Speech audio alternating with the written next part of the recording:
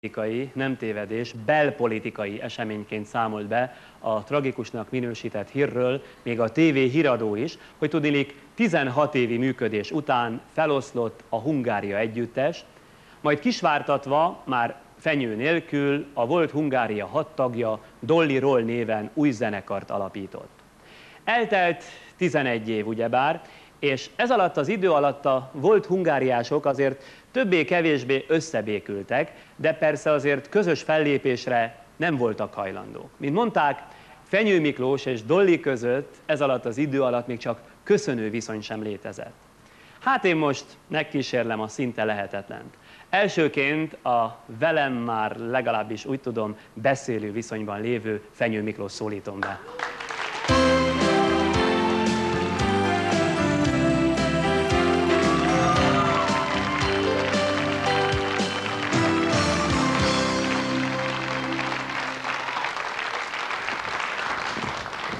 Nagyon jó ez a szerelés, ne üljön a két szék közé. Nem, mert...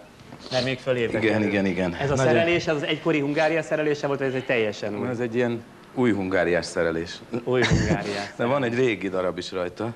Igen, Ez még az akkori időkből van ez a, ez a remek ez a jel. jelvény? Uh-huh. Miklós, egy picit arra kérem, mint mindenkit, hogy az előzményekbe avasson be. Hogy is volt ez 11 évvel ezelőtt? Miért is szakítottak? Maga mondta ki, ugye arra jól emlékszem, visszakerestem az egykori újságcikkeket, ezt a szakítást.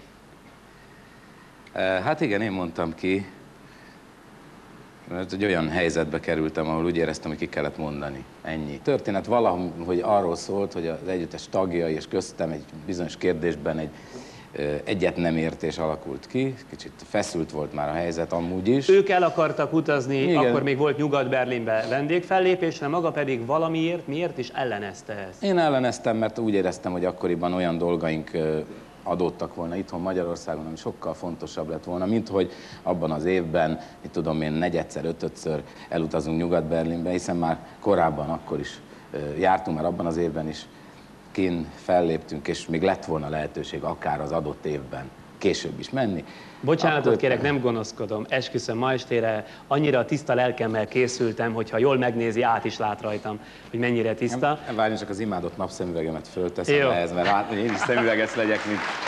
Szóval, tényleg. de, de én, mintha azt olvastam volna, hogy voltak éppen azért nem e, akarta ezt a nyugat-berlini fellépést, mert hogy magáról éppen akkor portré műsor készült a televízióban, és ez az ön Jaj, jaj, nem így jaj. volt. Hát az újságok akkor ezt írták, őket citálom, és ez magának nem esett volna Végül is jól. az a kérdés, hogy ki nyilatkozta az újságnak ezeket Újságírók írták, de majd, hogy nem mindegy, és azt hiszem. Azt hiszem, hogy az a nagy helyzet, hogy ö, nem teljesen fedi a valóságot ez a dolog.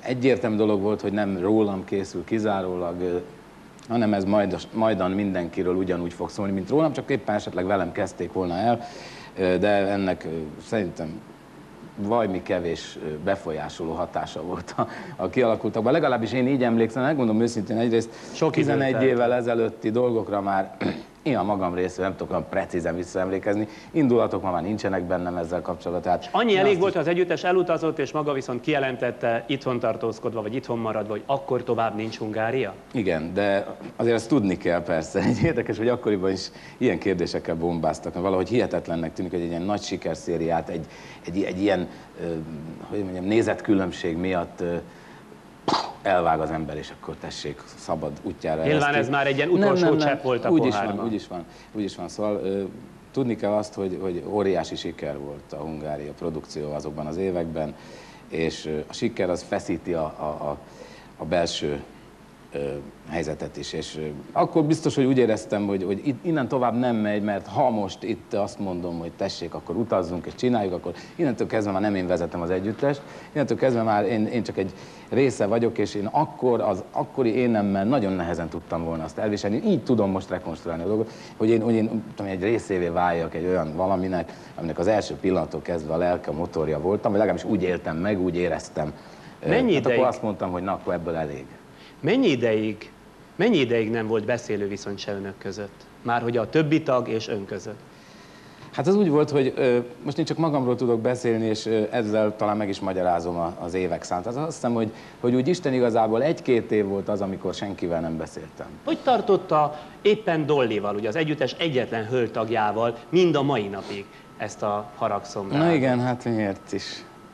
Na, miért éppen vele? Hát ha olyan, hogy nem mondhatja el, nem mondja el, mert De- akkor mindannyian egyre gondolunk, de hogyha elmondhatja, akkor viszont ne engedje meg, hogy ez a plegyka Jó, hát elterjedjen. most kénytelen vagyok ezek szerint elmondani, mert most be, bekényszerített egy ilyen Friderikuszi zsákutcába. engem. Hé, hát ártatlanul ibolyakék szemekkel kérdezek.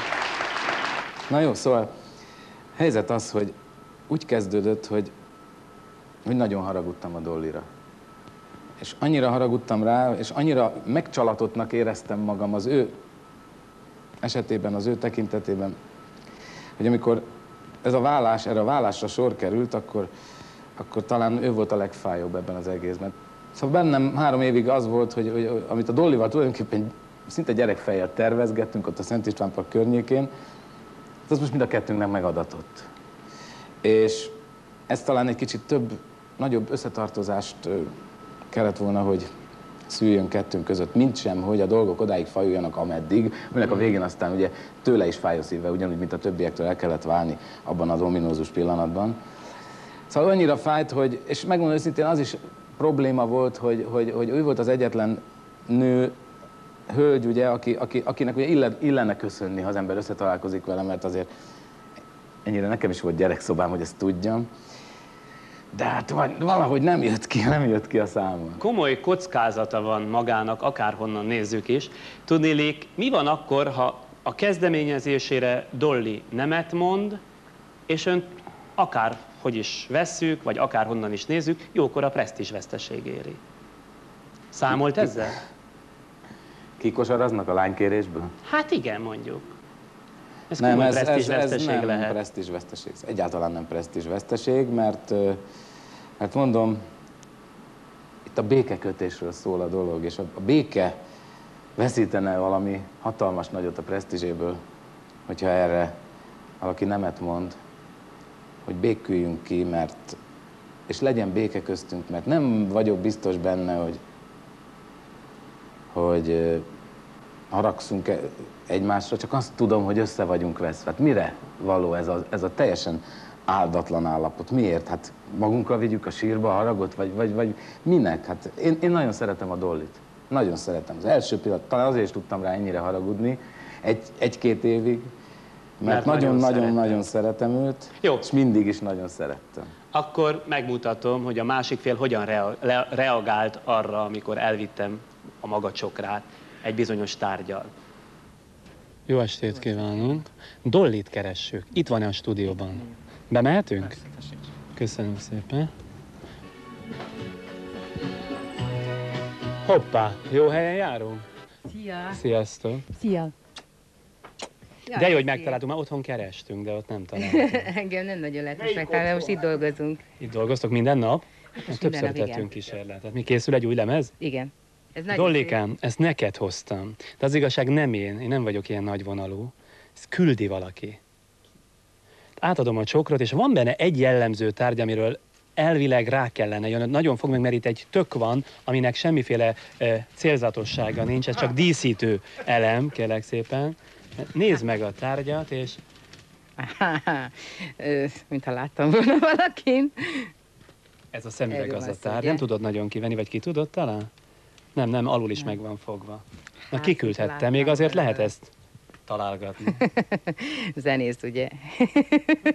Ez a fenyő szemüvege?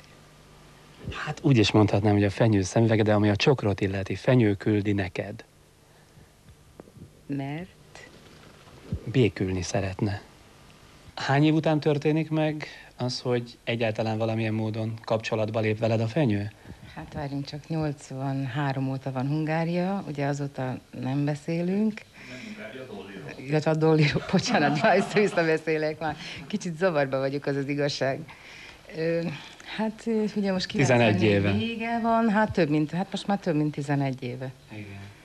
Semmi, se telefon, se levél, se személyes kapcsolat azóta nem volt kettőtök között? Semmi, semmi az égvilágon.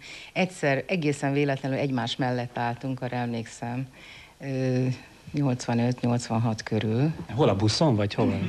Nem, lent Siófokon volt, azt hiszem a tessék választani, vagy valami ilyesmi. és én hátul álltam a keverőnél. És akkor úgy, úgy a szemem sarkából úgy láttam, hogy valaki áll mellettem. Ugyanúgy a hátul a keverőn senki más nem állt ott, és akkor így, így a szemem sarkából úgy arra néztem, és hát a Miki állt ott, de ő se nézett rám, úgyhogy mind a ketten továbbra aztán mereven a színpadot néztük. Én úgy tudom, hogy az együttes többi tagjával, tehát a volt Hungária többi tagjával végül is az idők során kerekedett némi beszélő viszony. Miért éppen te voltál az egyetlen, aki tartottad, vagy veled tartotta ő a távolságot? Szerintem egy ilyen görcs. Szóval inkább arra gondolok, hogy a részéről is, meg részemről is, most már csak azért sem. De azért ez egy gesztusértékű küldemény, én úgy gondolom. Igen, nagyon szép a virág, és nagyon tetszik.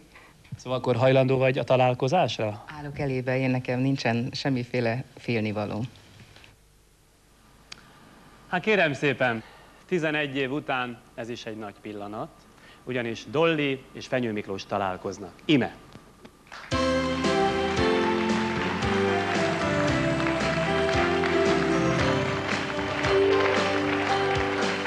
Ó!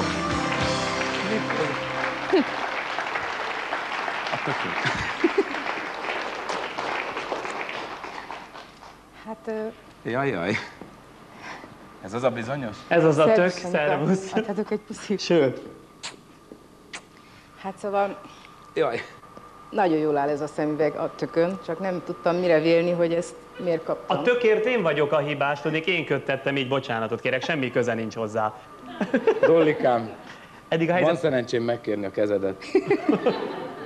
Nem tudom, milyen házasság lesz ebből, de lehet, hogy sikeres. Adsz egy puszit?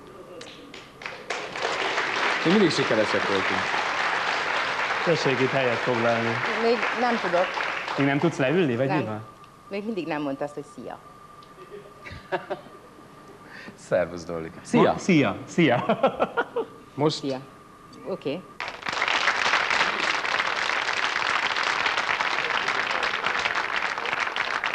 Tehát nem könnyű helyzet ebben, én egészen biztos vagyok, pláne nektek, akik országosan ismert sztárok, és ugye most itt mindenki szemelátára kell egy ilyen akciót végrehajtani.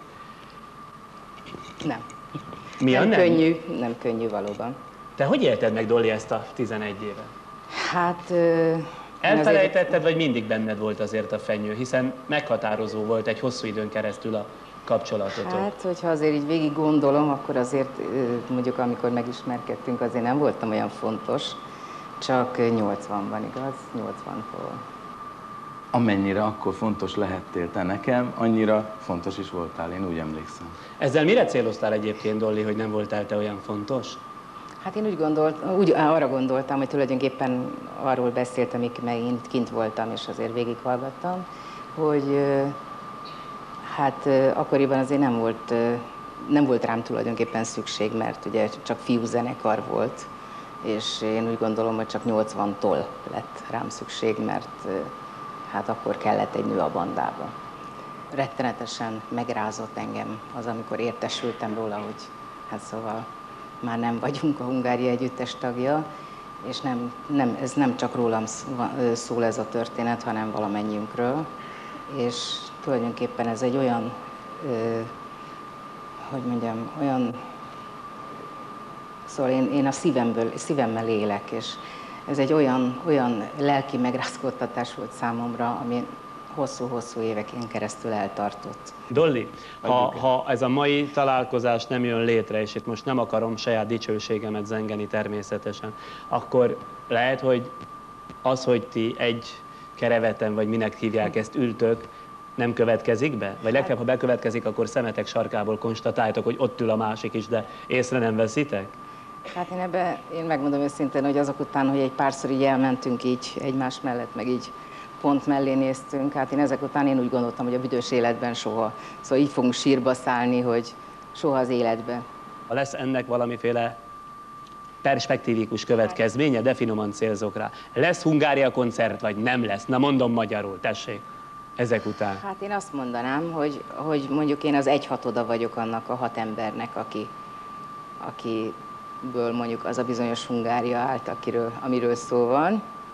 És hát mondjuk ez egy első lépés volt, mert mondjuk én el se tudnám képzelni, hogy én valaki olyannal lépjek fel egy színpadon, akivel ugye nem vagyok köszönő viszonyban sem. Hát ez most már megtörtént, szia! Hát aztán- Mondja gyorsan, szia! Oldja, oldja a köszönő viszony, na! Egyébként csatlakozom, én ugyanezt tudom elmondani. Nyilvánvaló, hogy ez a koncert nem jöhet annélkül létre, hogy ne legyünk először is minden esetre beszélő viszonyban, második lépésben remélhetőleg jó egy haveri viszonyban, egy zen, zenész barátságban, és ki tudja, még akár, akár igazi jó barátságban is. Kérem szépen, hát rövid távon biztos, hogy lesz következménye annak, hogy Dolly és Fenyő Miklós ma este itt találkoztak, de ez majd kiderül rögvest a reklám után. És köszönöm szépen!